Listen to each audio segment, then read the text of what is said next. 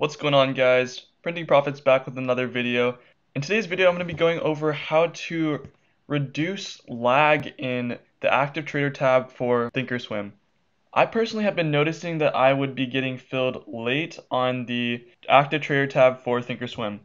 And so it was brought to my attention by a fellow trader that the default settings on active trader for thinkorswim is actually delayed.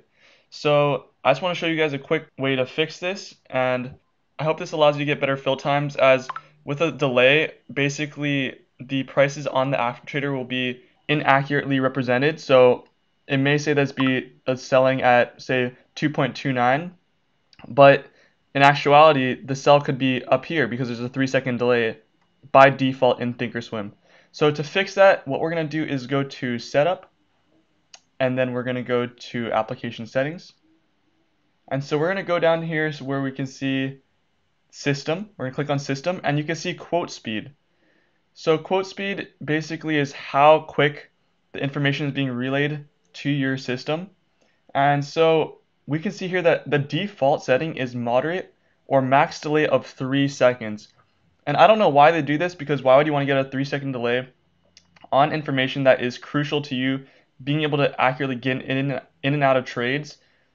So what you're going to want to do is just simply click on that and click real time, no delay, apply settings.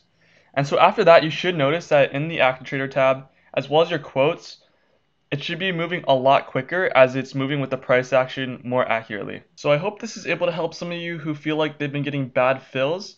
It might be in actuality that you're not getting bad fills, but rather you're getting filled at prices that were not represented on your screen. If you found this video helpful, please leave a like, subscribe. If you have any questions, leave a comment. Catch you guys in the next video.